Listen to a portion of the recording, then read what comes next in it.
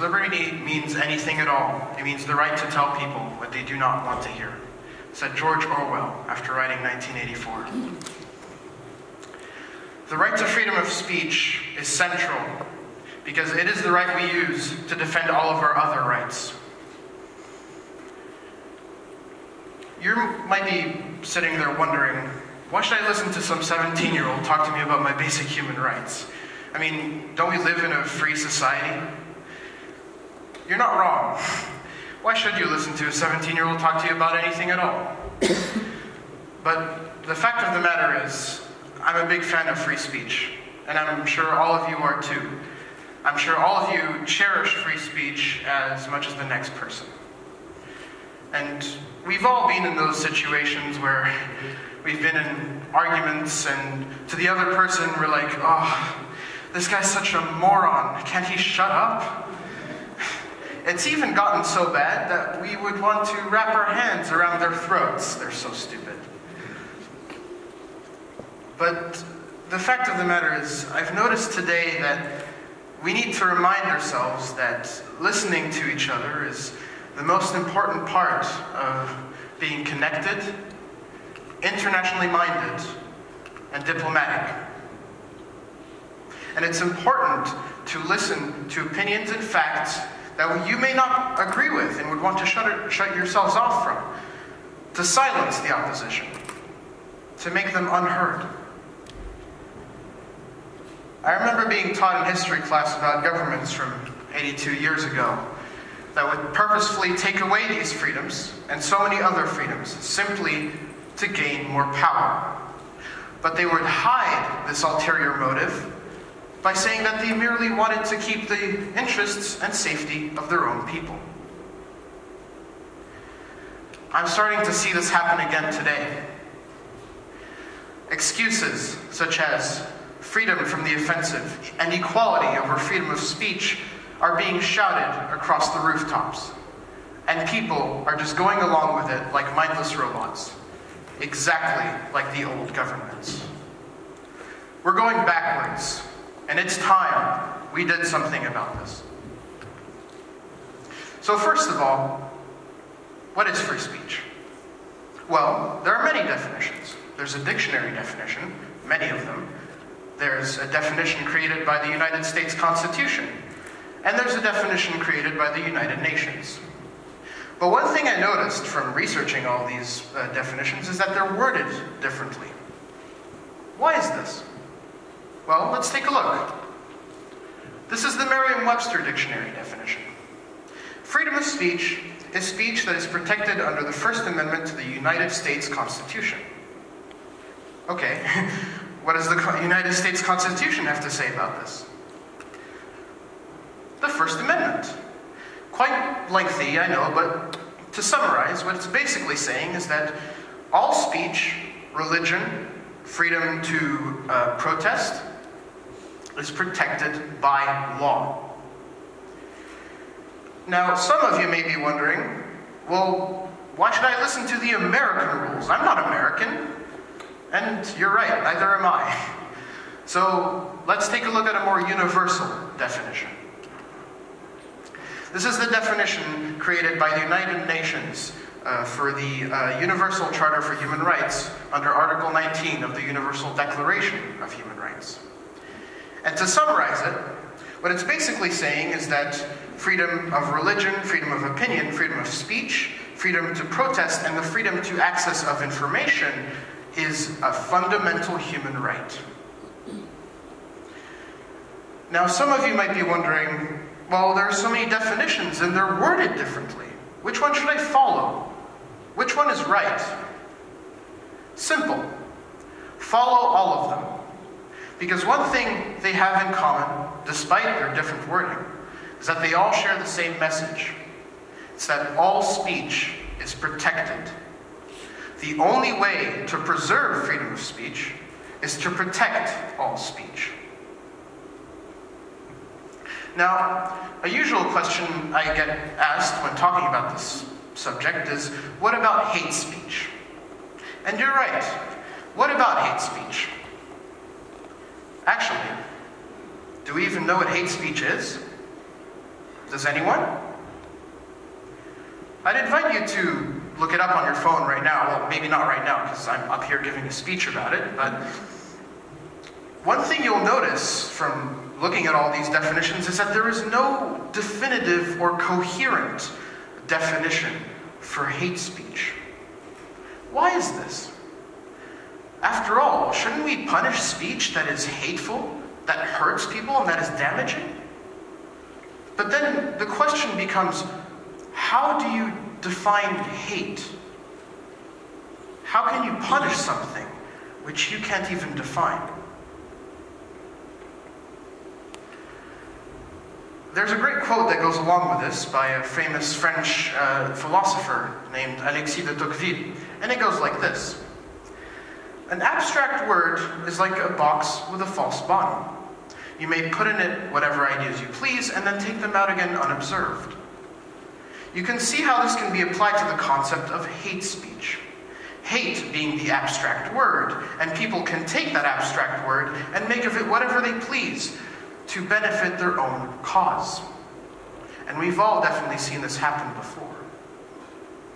But then some of you might be saying, well, just because we can't define hate, it doesn't mean that we can't and shouldn't punish it. Some people would even argue that hate speech is a hate crime, something that is punishable by law. But I would beg to differ, very much so. Because there is a fundamental difference between physically hurting someone and hurting someone's feelings. And trust me when I say that it hurts, because like all of you, I have too been emotionally hurt. I've been bullied. I've been called names. I've been shunned for my beliefs, my values, and even my race. To give you an example, when I was 14 years old, I met an online friend uh, who I became quite fond of, and we became quite close. And as we became closer, we started opening up about each other even more. But as time went on, he started becoming suspicious of me. Why? Because I was, ha- I happened to be open about my religion. A religion, by the way, that he was not fond of at all. After some more time, he started hating me, literally hating me, and started calling me names like sand monkey, terrorist, uh, even the N word.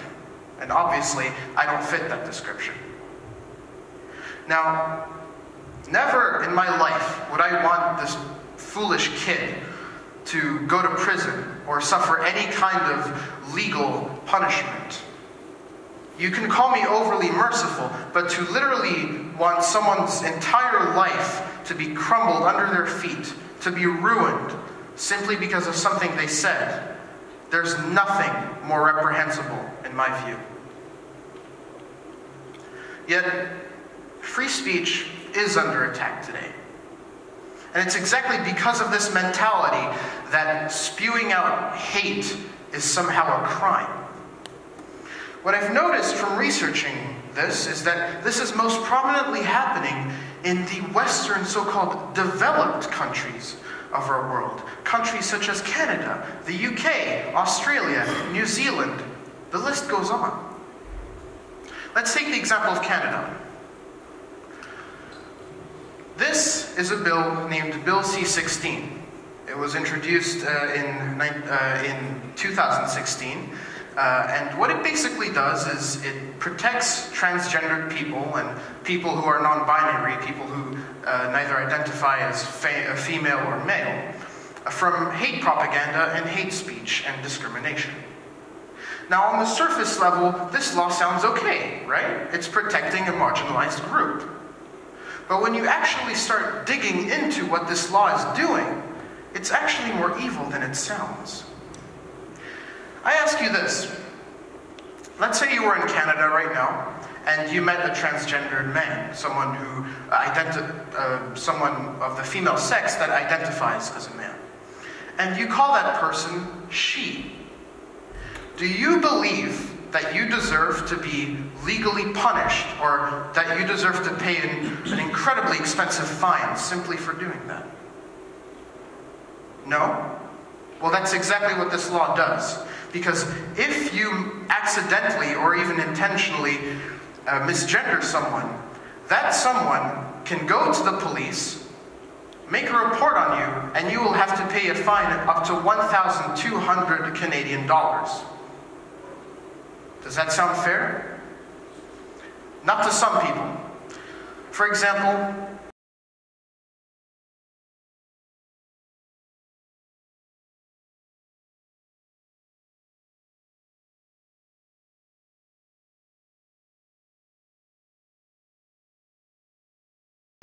not wrong. It does. He's received both hate and praise. He's been shunned and shamed. Uh, he's been shunned and revered for this. Let's take a more extreme example. This is Lindsay Shepherd. Lindsay Shepherd was a teaching assistant at Wilfrid Laurier University.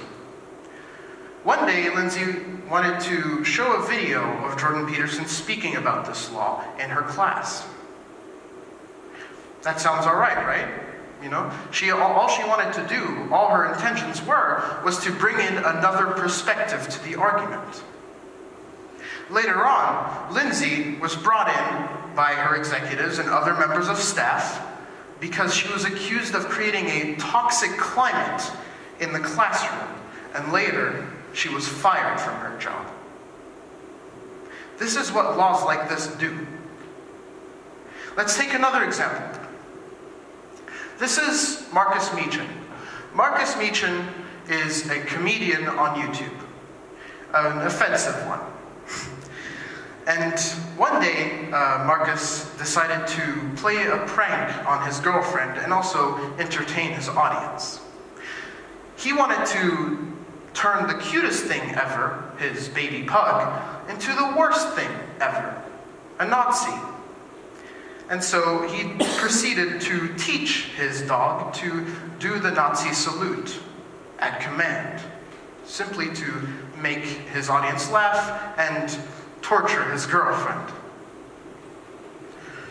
After several re- uh, weeks, two knocks on Meechan's door are heard. Two police officers were waiting outside the door. They took him in with handcuffs and put him in a small cell for a week. After that, he was released, but he had to fight a two year long legal battle against some people who were displeased by his joke. At the end, he did lose the battle, but he didn't go to prison, even though that was on the table at the time. Instead, he had to pay an 800 pound fine. To this day, he refuses to pay that fine. And after that catastrophic event, he's been going around on rallies, making speeches uh, against uh, oppression of free speech and against laws that oppress the freedom of the flow of information, such as Article 13. Now, I'm not asking you to agree with his joke or find it funny. I'm asking you, do you believe that he deserves to be legally punished simply for making a joke? Let's take a more extreme example. An example that all of us can agree is oppression of free speech. A beacon for us to wake up and realize that freedom of speech is under attack today. This is Jamal Khashoggi. Mr. Khashoggi was a columnist for the Washington Post, a Saudi Arabian columnist. He was exiled from his own country because his government didn't like what he said about their institution. He was exiled to Istanbul, Turkey, for many years. And during those years, he's written many books and many editorials and articles regarding free speech and how free speech and the liberation of women can improve the Middle East. One day, Mr. Khashoggi goes into the Saudi Arabian consulate to get some legal papers for an upcoming marriage. he never left that consulate because he was kidnapped, tortured, murdered, dismembered, and finally thrown into a vat of acid simply because they didn't like what he said. Now, how cruel do you have to be to do that to someone simply because you don't like what they have to say? Our world is full of problems. We all know that. But there's no better solution than to all sit down and talk to each other. And one of the biggest problems today is that we're not listening to each other. We're silencing each other. We're even killing each other simply because we don't like what the other has to say. The first step to the collapse of society is to silence those that which we oppose. Thank you.